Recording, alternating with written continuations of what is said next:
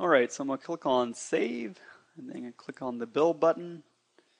Build this program. So that's compiling and linking it. And now we'll run it.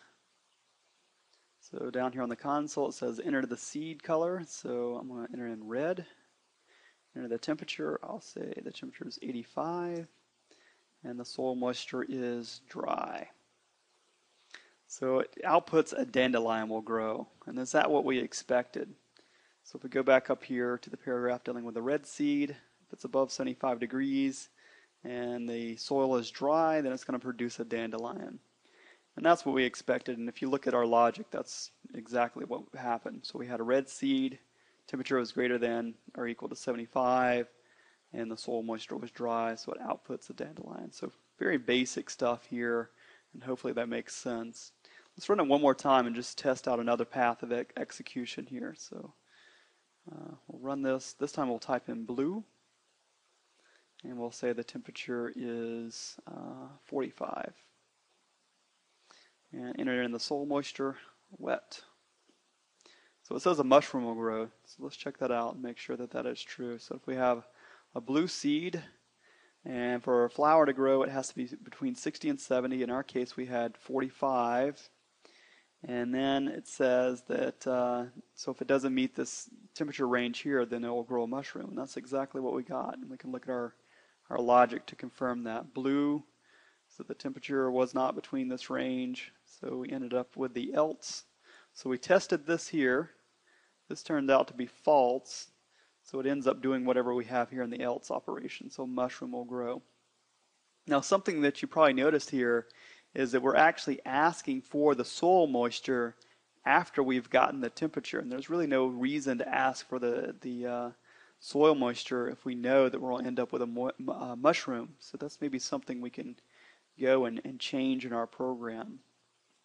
Okay, so let's look at moving this code here where we get the soil moisture down to the point where it actually matters.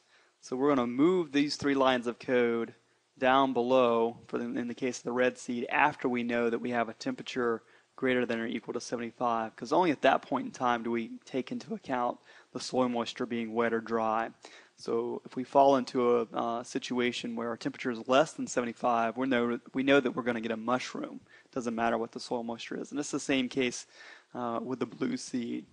The blue seed does not fall in this range here in terms of the uh, temperature then we'll end up with a mu- mushroom. So there's no need to ask for the soil moisture until we know that we're in a correct temperature range. So I'm going to just take this code here and select it. I'm just dragging over, uh, left clicking and dragging. And then I'm going to use uh, hold down control and then hit the X key and that will cut that bit of code out. And you see that uh, the code analyzer here in Eclipse is already complaining. It's already saying that uh, we have some unresolved variables here. But as soon as we come in here inside of this if statement where we have the if uh, temp is greater than or equal to 75 and paste it, and I'm going to hold down control and then hit the V key to paste, then uh, the Eclipse uh, code analyzer is not complaining anymore. That's now resolved. Still unresolved down here, so let's go ahead and uh, paste in this bit of code down here as well. So control V once again and we paste that code in. So now we're not asking for the soil moisture until it actually matters. So let's go ahead and uh, save this, build it, and we'll run it. So we'll put in uh, red for the seed color, and we'll put in a temperature of 65. So that's down below where we get a flower. And it says that a mushroom will grow. And notice how we did not ask the user for the soil moisture. And that's good. Uh, we don't want to ask them unnecessary questions if we already know ahead of time that we're not going to get that result. So let's run it one more time, and maybe we'll do it for uh, blue seed. So we'll type in blue, and we'll put in a temperature of 95. And it says a mushroom will grow. So we exercised uh, the second case here if the seed color is blue. All right, so let's take a look at our code and notice how we have this if statement here to test to see if we have a red seed, and then we also have another another if statement here to see if we have a blue seed. And you may be wondering what would happen if we change this to an else statement. So that's saying that if the seed color is not red, then it has to be blue. And that may not be the case, right? So somebody could actually input uh, the color green or brown or maybe not even a color at all. They could input anything. So anything other than red would actually come down and try to execute whatever we have here in this else statement here. So if the temperature happened to fall between 60 and 70, then we would ask for the soil moisture, and if it happened to be wet, we'd output that a, dandel- a dandelion would grow. But they may have inputted, you know, that the seed color was, you know, hamburger or something like that, something that doesn't even make any sense. So we have to be careful whenever we use this else here. We have to know that we have valid input and that we've exhausted all other alternatives. And the only thing else left is this stuff here. That's where we put use, how we would use the else statement. So we could, I guess, um, leave the else in there if we came up here and maybe did something like this. So after we get the seed color, test to see if the seed color, uh, if the seed color is not equal to red and the seed color is, let's see, color. Seed color is not equal to blue if that turns out to be the case, maybe we'll just um, output to the user. We'll do a cout and then say uh, invalid color selected. Uh, program will terminate. Okay, so we could have some bit of code like this, and then we could do maybe a return zero, and that would actually terminate our program at that point in time.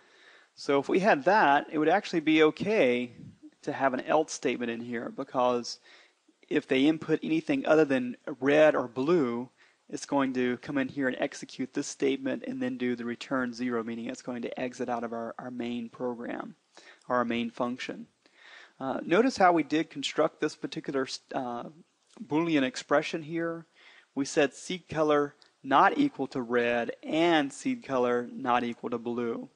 Uh, you have to be very careful. If we would have used the OR here, as, a, as opposed to the AND operation, let's, let's notice what happens, because this is a common mistake as well, that someone would put an OR here instead of an AND statement. So with the OR, maybe they type in blue, okay? So blue is not equal to, to red, right? So this would be a true statement. And we only have to have one true statement in order for this whole thing, uh, in order for this whole entire expression to be true. So we would end up executing this statement here, and that's not what we wanted to have. We needed to have both of these being true.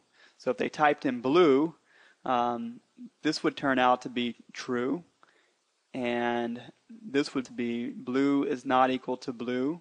Uh, that's that is in fact false.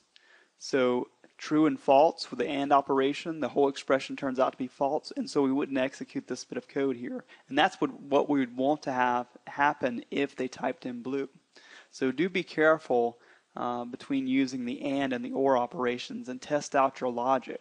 All right, so let's see, uh, see how this works. I'm going to save it, build it, and then run it once again. All right, so we'll type in uh, brown. And it says invalid color selected. Program will terminate. And that's exactly what we expected to happen. Let's go back and run it one more time and make sure it does work if we type in blue. So let's type in blue. And we'll put in a temperature of uh, 75. And it has a mushroom will grow. And that's exactly what we expected because it did not fall into this uh, temperature range. Let me scroll down a little bit further to get to the blue section. So yeah, it didn't fall in, in between the 60 and 70 range. So we ended up with a, a mushroom here.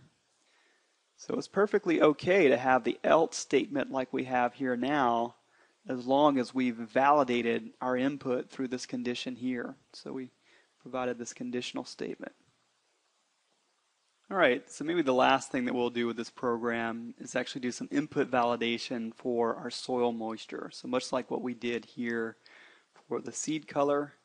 We can do similar things for the soil moisture. So I'm going to come down here and write some code below this. So after we get the soil moisture, we can test to see if uh, soil moisture is not equal to wet and soil moisture is not equal to dry, then what do we know? We know that we have invalid input there. So we'll say uh, cout and then say uh, invalid, let's see, invalid soil moisture was inputted.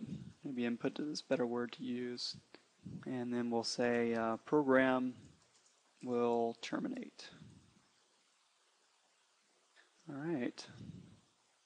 We can do that and then do a return zero. And that actually ends the execution of the program. All right, so it exits the main function, just uh, returns it to operating system control.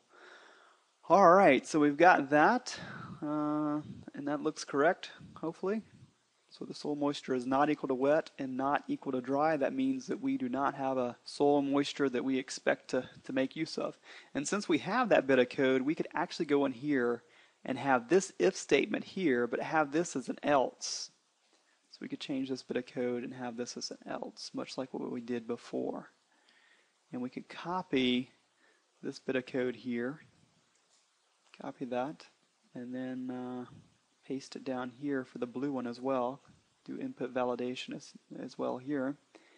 And then what could we do? We could take uh, this out and change it to an else. Because we know if, if we make it past this point here, after this if statement here, we make it past, so this ends up not being true, then we must have the soil moisture being wet or dry. Okay, so that's the reason why we can do that else there because if it's not wet, it has to be dry if we've made it past this condition here.